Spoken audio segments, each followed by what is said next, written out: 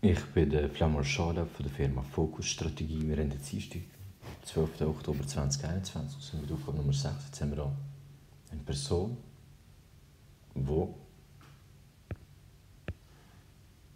eine Strecke zurücklegt. Wir wissen noch nicht, wie lange die Strecke ist, aber grundsätzlich braucht, die, Person, oder braucht die Person 216 Einheiten Energie, um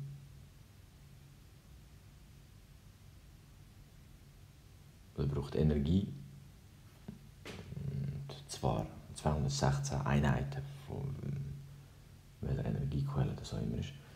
Und verbraucht dabei 12 Liter pro 100 Kilometer.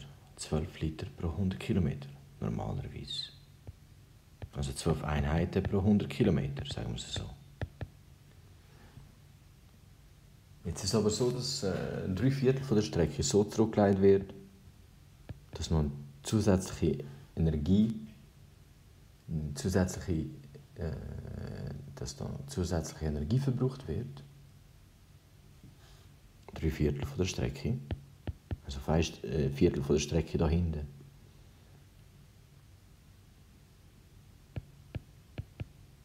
Da hinten wird äh, da, da werden 12 Einheiten pro 100 Kilometer verbraucht. Pro kann ich weglassen, es wenn ich das einfach so aufschreibe. Und hier vorne da brauchen wir ein Sechstel mehr. Heißt also 12 Einheiten pro 100 Kilometer plus ein Sechstel von eben 12 Einheiten pro 100 Kilometer. Das rechnet sich folgendermaßen 12 Einheiten.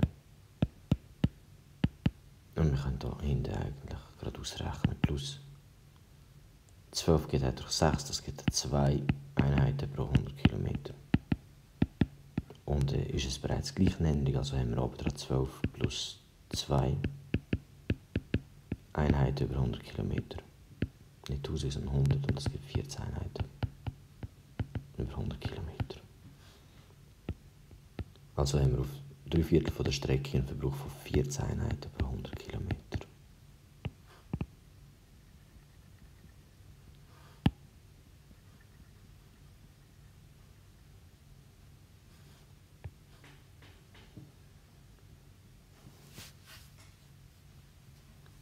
Jetzt wollen wir herausfinden, wenn wir zuerst herausfinden, ja, wie lang ist denn eigentlich die Gesamtstrecke, damit wir dann das unterteilen können.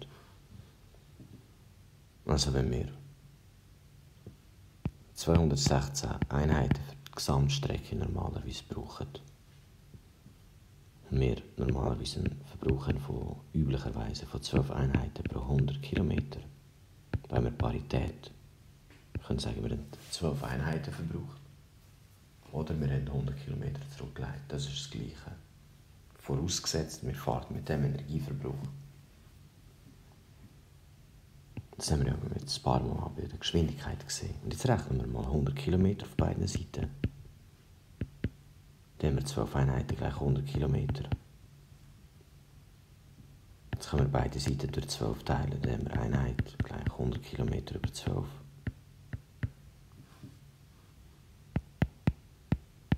Dann, könnten wir 200, dann kann man 216 mal, anstatt E rechnen wir mal 100. geteilt durch 12.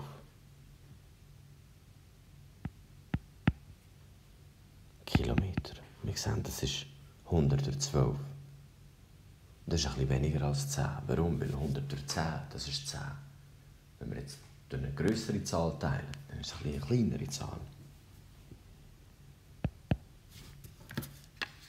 Heißt also, es bisschen weniger als 2160 gewesen. Wir rechnen 216 mal 100 geteilt durch 12. Das gibt 1800 Kilometer. Eine Strecke von 1800 Kilometer.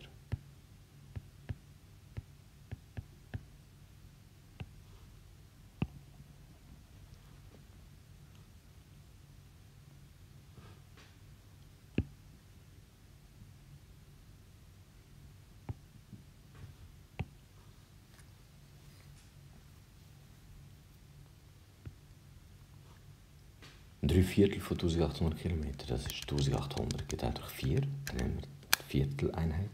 Rechnet das mal 3, nehmen wir da 1350. 1350 und da hinten noch 450. Und da vorne auch 1350.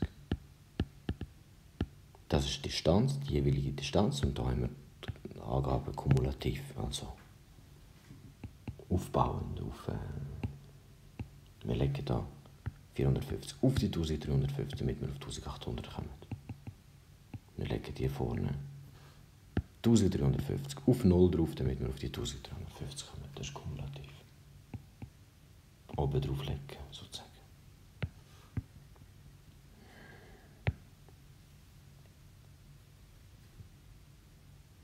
So, und jetzt, wenn wir den Gesamtverbrauch das wir bei dieser Strecke herausfinden. Wir fahren 1350 km plus 450 km. Bei diesen 1350 km haben wir einen Energieverbrauch von 14 Einheiten pro 100 km. 14 Einheiten pro 100 km.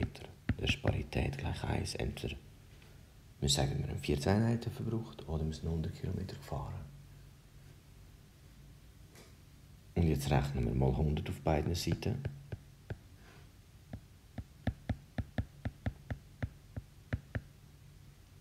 Und rechnen hier durch. Äh, zuerst haben wir mal 100 km gerechnet. Und jetzt rechnen wir nur durch 100.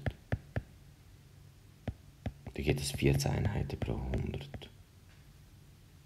Jetzt können wir da äh, das ersetzen mit 1350. Anstatt Kilometer schreiben wir hin. 14 Einheiten geht er durch 100.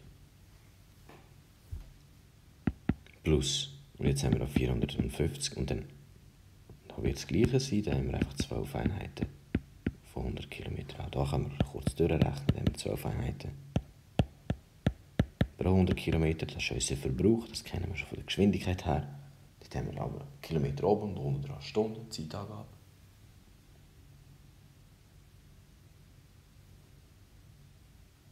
Mal 100 km auf beiden Seiten. Also nicht Zeitangabe, sondern die Angabe von der Dauer. Es ist keine Zeitangabe unten dran. Es ist eine Dauer und Dauer ist äh, der Unterschied zwischen zwei Zeitangaben. Geht auch durch 100 auf beiden Seiten, dann ist es Kilometer gleich 12 Einheiten über 100.